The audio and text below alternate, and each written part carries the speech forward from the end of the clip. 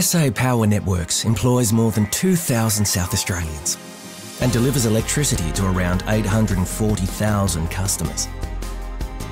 We don't make electricity, and we don't sell it either.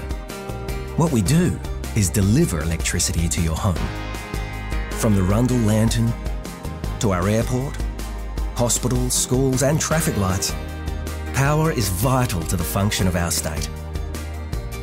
That's why our team is on call 24 7, rain, hail, or shine, to respond to any emergency.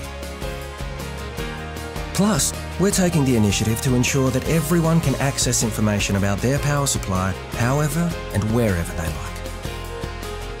We also foster vital connections through more than a dozen community sponsorships.